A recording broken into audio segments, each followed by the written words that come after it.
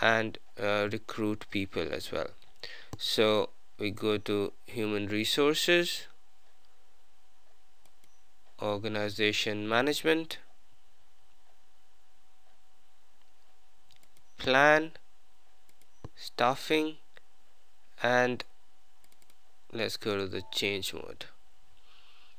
So this is what my organization uh, screen looks like we'll be working with a company called Training International which is the standard company used for IDES training.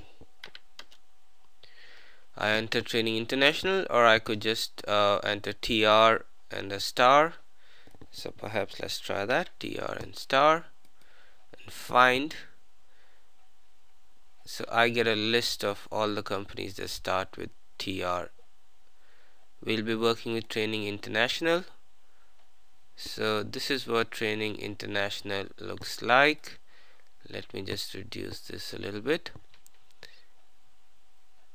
And I've got a managing director and various departments. Now I can go to the column configuration and look at a few other important details like the code the ID the org unit ID and so on. So what I want to do is under the financial accounting department I want to create a few new units. Before I do that however I need to make these changes effective the beginning of the year so I need to change this to 0101 and then execute. So now my changes are going to be valid from the beginning of the year. I'm user 16 so I'll go to the org unit 16 accounting. And currently as you can see there is nothing under this org unit so I right click and create another org unit within this. So I'm going to split accounting into accounts payable and accounts receivable. So here's my new org unit. Let me just say 16 AP is 16 accounts payable. And I just save it.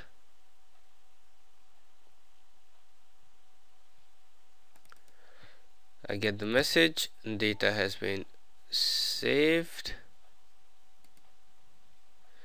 And I just reduce the screen at the bottom so that I can look at the screen at the top a little better. So here is it uh, 16 accounting. Under that you have another org unit uh, 16 accounts payable. And now I will create another one called 16 account receivable. So the same as before. 16 AR this time.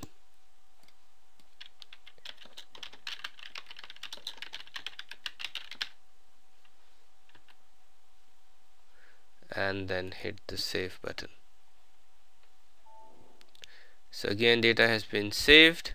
So if we go to the main screen we find that you have two additional units accounts payable and accounts receivable. Now within these units I'm going to create some positions.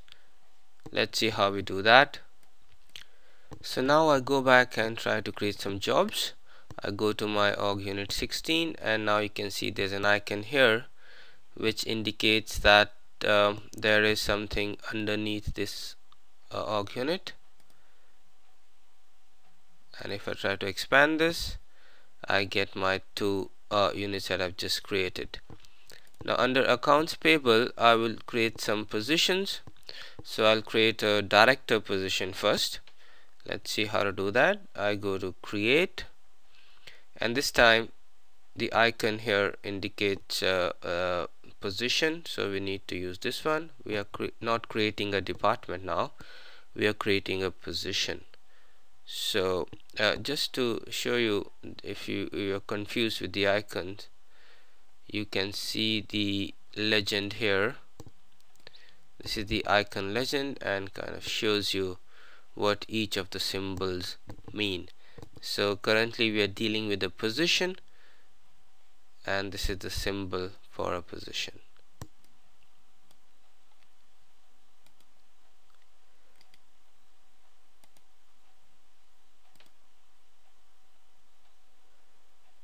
So I want to create a director position. So let me just say 16 accounts payable director. 16 AP director. Um, in terms of the job description I can give that here so we have some descriptions already defined starting with 50 and I'm looking at a director position. There you go. Now I save it. And when I go back I see that under my accounts payable I've got a director position I will now create uh, some additional positions uh, that of a manager and a clerk and then assign some tasks to them. So I right click create incorporate and this is going to be my manager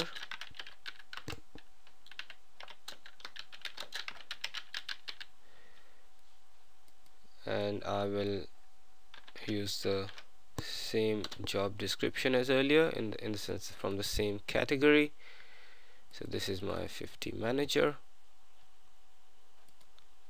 Save it. I've got a manager here and now I create the clerk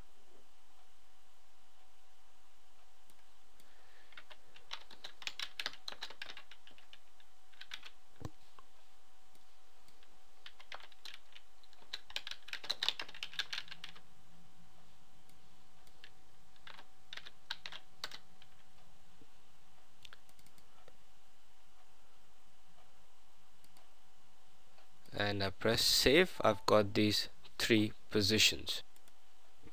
So we now assign the task complaint processing to the clerk. For that I right click go to task assignment and if I scroll right I've got the list of tasks. And there is complaint processing uh, there uh, are already there I may want to assign the customer service task uh, to this clerk as well. So in that case I simply say create. Use the relationship is described by. And then I say customer service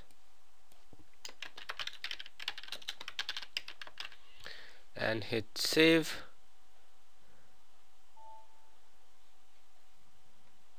And that's my data saved. Now if I go back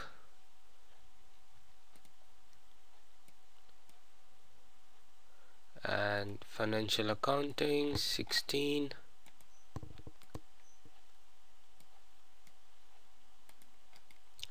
AP clerk go to task assignment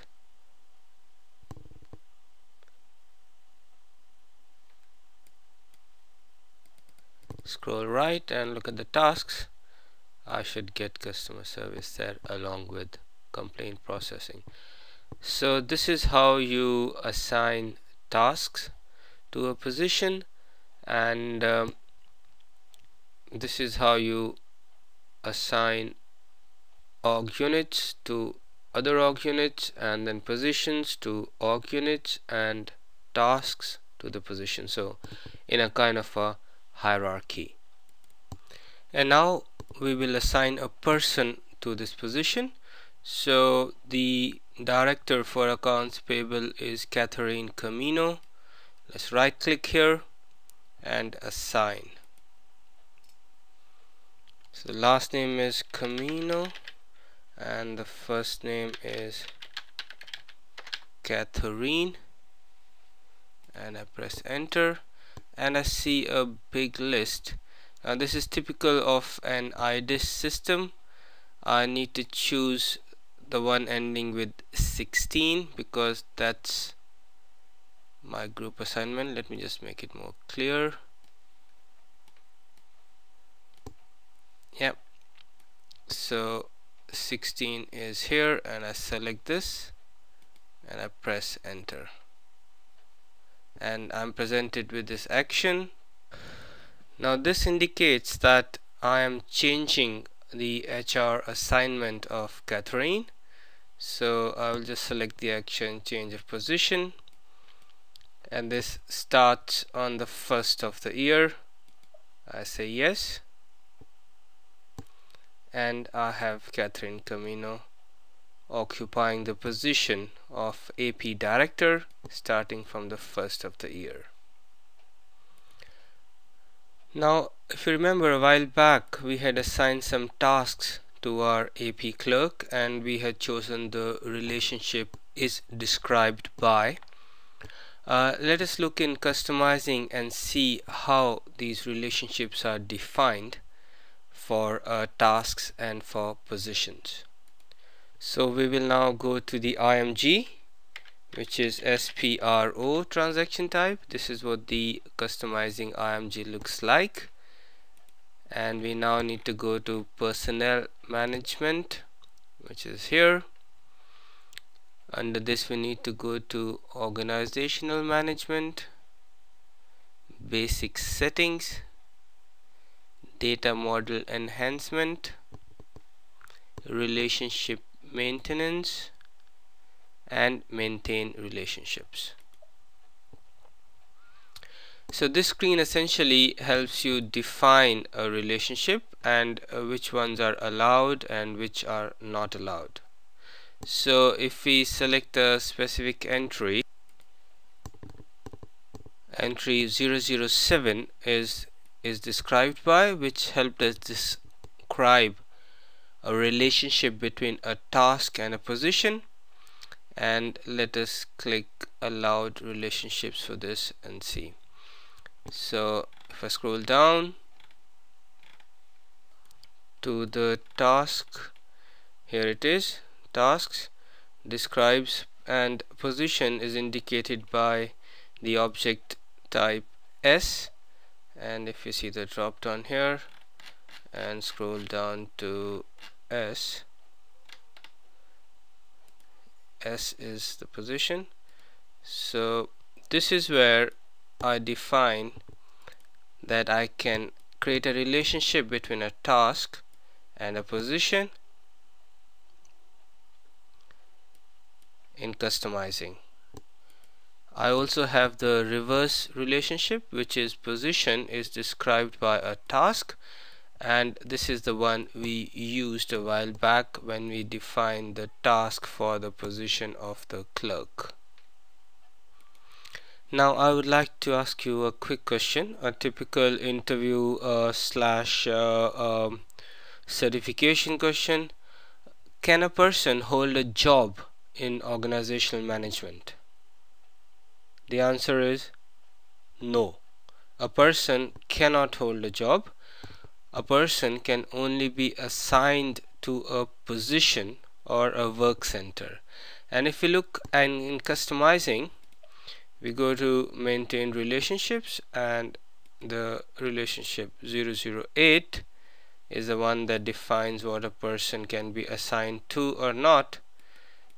If I look at the allowed relationships in this case I have a person P and a person can be a holder of a position which we saw earlier is denoted by S and A is the work center.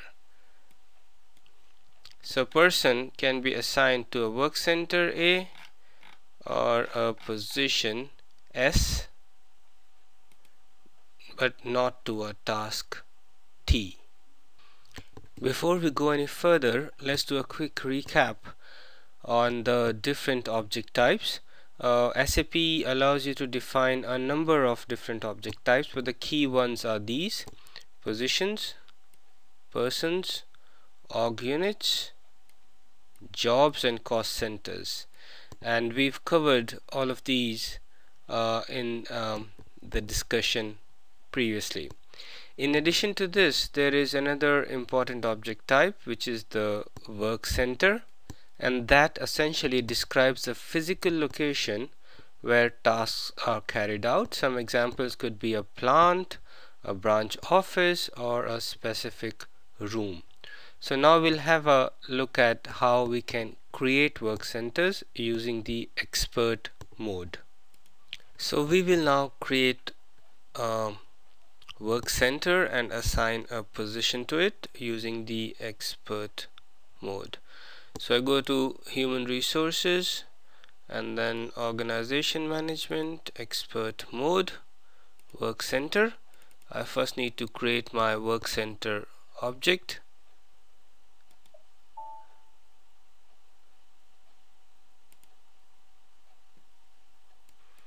I had another work center which I've deleted so I'm doing this again.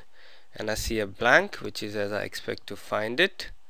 The period has to be from the beginning of the year till the end of time.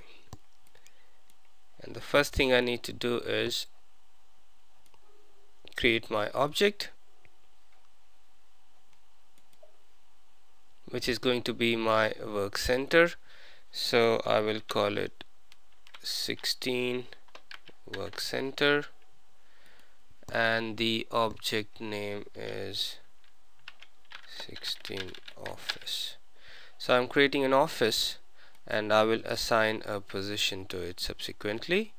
Just hit on save and my object is saved. Now I assign a relationship and my relationship is going to be of type position so the position will belong to the work center. I select position and I need to find the ID for which I will seek some assistance. And the ID is going to be let me just move the screen. Yeah. So I'm going to search for a head position and head of department. So I've assigned my position head of department to my work center 16WC which is an office and all I need to do is save. So now my position has been successfully assigned to the new work center that I've just created using the expert mode so I hope you enjoyed this session. There's a lot more and hopefully I'll see you soon. Bye